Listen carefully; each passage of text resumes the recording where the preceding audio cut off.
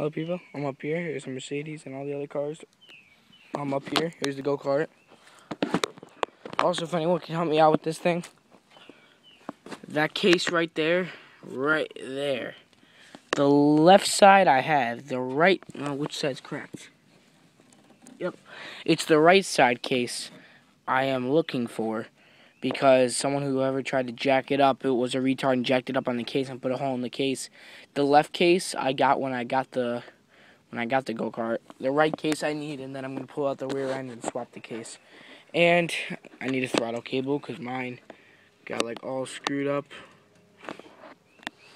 So if anyone can help me out with the website or any place where I can get parts, I also might buy a new set of tie rods because these are, well, this one broke. Or I might just get it rewelded depending on the price. So if anyone can help me out with that, that would be great. reason I made the video is because the old DR125 is down in the shed. And I'm going to go pull it out because I'm going to do a top end rebuild on it. The only reason why I'm pulling it out now, and I didn't order the piston and rings yet, is because I'm going to pull my dad's car out of the garage for a couple weeks. And I'm going to see, well today, I'm going to see if the connecting rod is good. Because if the connecting rod is good, then I will buy the new piston and rings. But if the connecting rod is not good, I'm going to bolt it all back together and put it back down here. But if it is good, I'm going to keep my dad's car outside for a couple weeks while I work on this. So now if I open it up, you'll see my blaster, which is now seized up. And I'm pretty sure it needs a crank. But if I put it in gear and I roll it, it uh it rolls. If I put if if I put in gear and I if I put in sixth gear and I roll it, it'll roll and move everything, the connecting rod and piston and everything. But if I try to move it without that, uh, then it just, the kickstart is locked up, so I don't know what happened with it. So that pisses me off, but what are you do? I have over a thousand dollars into the machine. Anyone wants to give me 657, it's theirs. Push it out, nice blaster. Green frame. Now this is why I'm down here. The old DR. I'm pretty sure I put it in fifth gear, so it's going to be a little hard to get it out of gear. Anyone looking for blaster heel guards? I got lots of them. And I got another set up there. Also, oh, also a blaster fender, blaster A-arms. They're all, all the parts are on eBay. Oh man, I was afraid of that happening. Come on.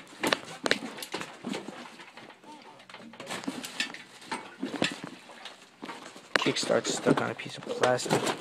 Also, I got a blaster gas tank too if anyone needs one of those. There we go. It's a little bit challenging to pull it out, but I'll get it out. Why is it not rolling? Now it should. Okay, get it away from the snowblower. I bought this thing cheap and I guess I over revved it or whatever. And it blew up, of course. What else is new? It's a four stroke. I wouldn't expect it to blow up as easy as it did, but it did. So what are you gonna do? Uh, bear with me, I'm gonna put down the camera so I can pull it out and then I'm gonna pick it up back up. So just bear with me for a second.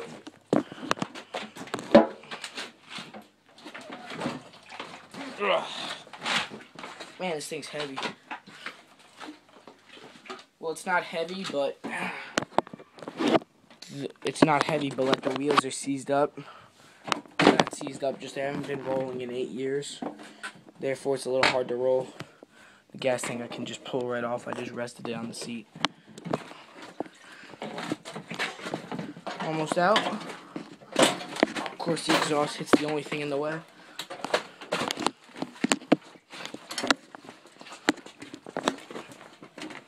And it is out.